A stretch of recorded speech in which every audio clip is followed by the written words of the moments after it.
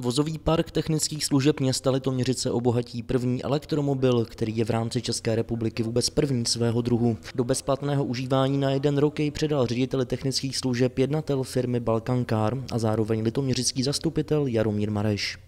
My jsme se zaměřili na to, aby to bylo hlavně pro eh, účely eh, právě těch technických služeb a firm eh, v rámci nitroměstského provozu.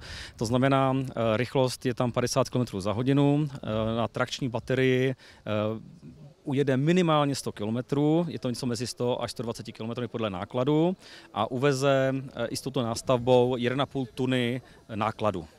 Tato nástavba váží zhruba 500 kg. To je třístranný sklápěč. Uveze dvě tuny, eh, dvě tuny nákladu, je 100% eh, elektrické a samozřejmě budeme očekávat zpětnou reakci eh, hlavně od uživatelů, to znamená od obsluhy, jak jim toto vozítko vyhovuje, nebo naopak, co jim nevyhovuje a tak dále, abychom mohli to zakomponovat do, do té naší výroby, do těch našich dalších prototypů.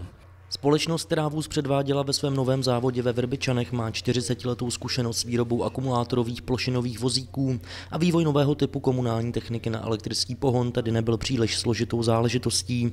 Uvést prototyp do provozu už bylo ale těžší.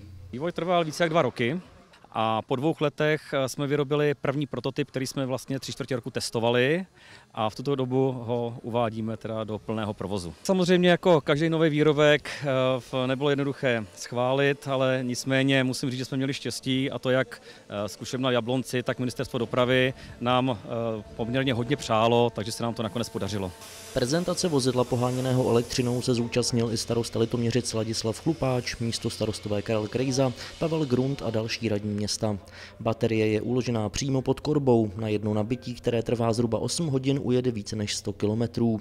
Pořizovací cena vozu se pohybuje kolem 600 tisíc korun to vybavíme ho nástavou tak, aby jsme vozili větší množství materiálu a v průběhu příštího týdne, tak od středy předpokládám, že bude 100% nasazen na práci. Bude zařazen do sekací party, to znamená k jedné sekačce, které do dnešní doby nemáme vozík, tak eh, bude přiřazen a bude eh, se podílet na odvozu biologického materiálu z daného sídliště. Slibujeme si o toho v podstatě levnější provoz a samozřejmě i ekologická eh, část je na přetřesu. Budeme ho testovat v rámci příkazní smlouvy a jestli se ten automobil osvědčí, tak samozřejmě můžeme uvažovat o nákupu, nicméně je to nákup, čili bude to podléhat výběrovému řízení.